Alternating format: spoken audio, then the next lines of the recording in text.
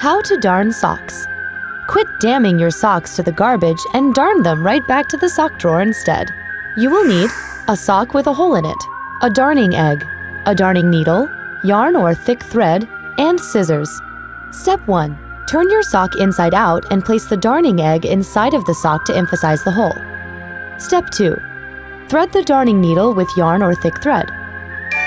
If the hole is in the sole of the sock, use a different color yarn or thread from that of the sock to help you see your work.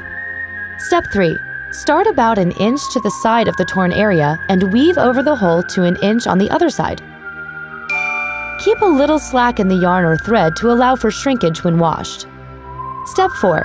Turn the sock the other way and weave stitches perpendicular to those you've just created. Don't make any knots. This would make it uncomfortable for the sock wearer. Step 5. Continue weaving over the hole until you've covered it. Step 6. Cut the extra yarn, turn your sock right side out, and congratulate yourself for saving another sock's life. Did you know? The first sock knitting machine, which automatically closed a sock's heel and toe, was developed in 1869 by John Nelson and William Worth Burson.